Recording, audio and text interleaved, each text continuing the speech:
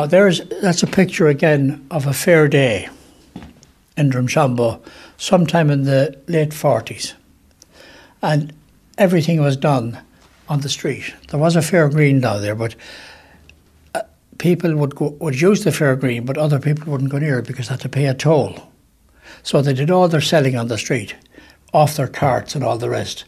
And the market yard, of course, was a haven for them as well. But look at that for a crowd that's in town that day. And what year did you say this again? That, that's roughly about, I'd say that's about 1947 48.